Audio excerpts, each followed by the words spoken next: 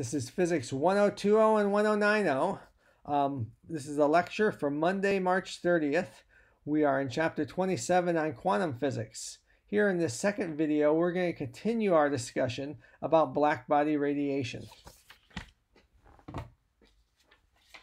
So remember black body radiation. That was the amount of energy given off by a hot object, and we looked at the intensity given off as a function of the wavelength. So we're looking across the electromagnetic spectrum.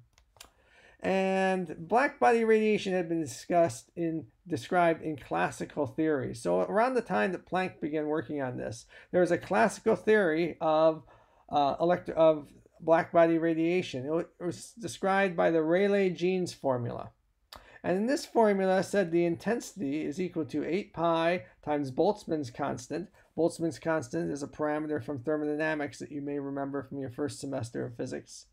K times the absolute temperature divided by wavelength to the fourth power.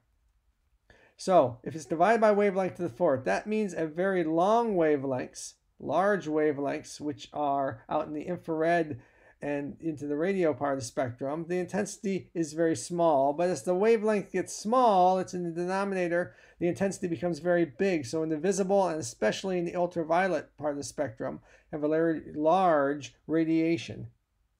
Now, the problem is that this formula does not match what's seen experimentally, like we talked about in the last video. Out here at long wavelengths, actually the classical theory and the experiment do match. So they agree deep into the infrared at long wavelengths. But as you go shorter infrared, near infrared, into the visible and the ultraviolet part of the spectrum, there's this gross deviation of the two. And it's known as the ultraviolet catastrophe. Rayleigh-Jeans formula failed miserably at the shorter wavelengths. Planck wanted to figure out why. So, in trying to figure out, he basically derived his own formula for the intensity of black body radiation. And this is Planck's formula here. And it's a bit complicated, so let's go through it. The intensity as a function of the wavelength is 8 pi times h. Well, h is Planck's constant. That's the constant that he introduced. Times c, that's the speed of light, divided by wavelength to the fifth power. And then there's this factor 1 over, this is exponential of hc over lambda kt, time minus 1. So we got to focus here on this exponential factor. Hc over lambda kt, well, that's a ratio of two energies. First, there's Hc over lambda. That's the energy of a photon, h times the frequency. So the energy of the photon divided by kT, that's a thermal energy. An object at temperature, absolute temperature T, all the atoms have energies on the order of Boltzmann's constant, K times T. So it's a ratio of photon energy to thermal energy appears in this exponential. This equation contains Planck's constant, so it is a quantum mechanical equation. It contains c, the speed of light, so it also has relevance to relativity. But when you have an equation like this, it's rather complicated and it's a little hard to understand what I want to do is I want to stress that equations are not just something you put numbers into and get out other numbers. Equations tell an entire physical story. And sometimes to extract that story, you have to look at limiting cases of an equation. And that's what I want to do with this rather complicated equation that describes Max Planck's uh, radiation law. So let's look at Max Planck's equation in a couple limits. First, I want to look at the case where the photon energy, hc over lambda, is a lot less than the energy of a uh, atom. So you have all these atoms bouncing around with thermal energy of approximately kT, and they can just give up a little, one atom can give up just a little bit of its energy and produce a photon with a much smaller energy. Uh, it has a photon energy hc over lambda. So there's plenty of energy around to produce these tiny little photons. So what we're going to do is we're going to take Planck's law, and here's Planck's law again, just as what I wrote on the previous page. And we're going to use this approximation. And notice the hc over lambda kt is what appears in this exponential. So you're going to get xe to the hc over lambda real small compared to kt, which is downstairs, e to the real small number. Well, we haven't have, need an approximation for e to some number x. e to the x, thinking of just as a mathematical function, e to the x is approximately, it's with small values of x, is approximately 1 plus x.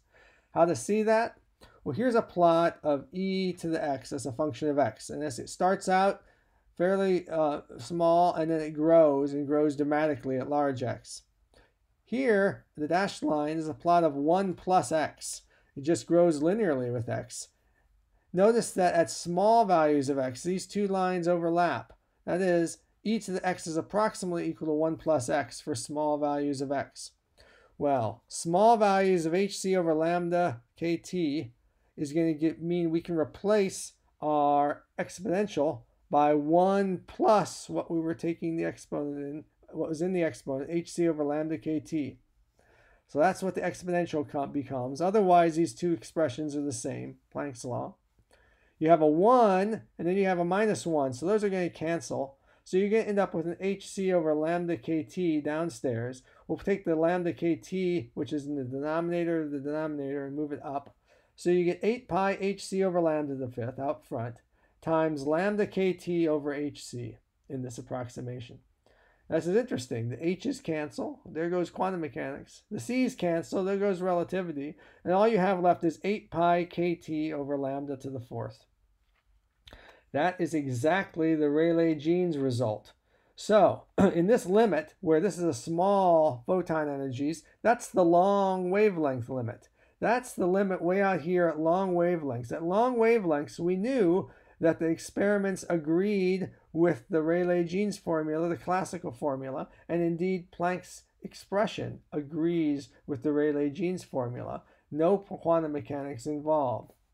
So we that's comforting to know that at least Planck's new expression gives you the same thing as the classical theory in the situation where the classical theory actually got things right. What about when classical theory gets things wrong? We have to take the other limit. Now we're going to take the hc over lambda, the photon energy, and say it's real big compared to kT. Think of it this way. You have a whole bunch of elect atoms moving around in this hot object. And in order to produce even one photon of energy at this wavelength, they would have to all get together and, and, and cooperate and give up all their energy just to have enough energy to produce one photon. That's the limit of hc over lambda, photon energy much larger than kT. So now we have blank Planck's formula. I just copied it over, Planck's formula. And now we have this as e to the hc over lambda kt is a big number. So you have e to a big number. Well, e to a big number is going to be gigantic. And it's so big that you can ignore the minus 1, and you just get 1 over e to a great big number, which is the same as having in the numerator e to the minus that great big number. But e to the minus, say, infinity, e to the minus 100, try calculating. It's really small. This quantity goes to zero, even though as you're talking about small wavelengths, small wavelengths, you'd think this quantity out here in front would get really big, but this exponentials go to zero so much faster that the entire quantity for what small wavelengths, that is large photon energies, goes to zero. And that's exactly what you needed. Planck's expression goes back down to zero here at the really short wavelengths, which correspond to high photon energies. So Planck's equation gives you correct values at long wavelengths, but causes this thing to fall off at the short wavelengths, exactly what you need to understand the experimental data. So Planck said, I have a formula now that describes the experimental data. In fact, when he announced this formula, people immediately went out and tested it and found that it's a very good description of the experimental data throughout the entire wavelength region. Now Planck was faced with a conundrum. He was a theoretical physicist. He had to figure out how he could derive this formula. He found it sort of by hook and crook, by accident. He put things, tried different things, and found this formula that worked how could he derive it from first principles? Because it was a fundamental formula now in physics. Nobody could understand where it came from. But he found that he could derive it. I can't go through that entire derivation. It's rather a little complicated for this class. But he found he could derive it if he assumed that light couldn't be given off in just any amount. It could only be given off in little quanta, quanta or photons of energy hc over lambda, or in other words, hf. So he found that he could derive this expression if He just restricted light to be coming in little packets of energy. So in other words, for a short wavelengths, you the KT, the, the, the, the thermal energies, you can't even uh, produce one photon. You'd have to have a whole bunch of them work together, and that's a very unlikely event. So that's really this this quantized energy of the photons means that you can't produce photons of ultraviolet and, and x-rays because there's just not enough energy around and it's too unlikely that all these atoms can work together collaboratively to make even one photon of those very high energies. And he was able to take his formula, has only one free parameter for him, and that was h, and compare it to experimental data and come up with a value for h, 6.6 times 10 to the minus 34 joules second that's what we now know as Planck's constant.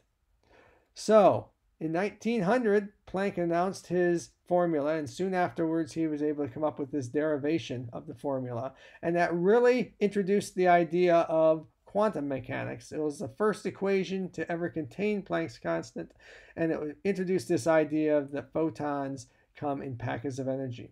However, Planck, Max Planck was a conservative scientist. He interpreted this his results in sort of the most conservative way possible. He thought there was just something about an object itself and how the atoms interacted that limited them to be able to produce energy of photons in this way. In the next video, we're going to see how Albert Einstein came along five years later and really introduced the idea that th no, this is actually a property of light itself. Light itself comes in these elemental quanta of energy, and it's not just an accident of how a black body happens to emit energy. It's fundamental to the light itself.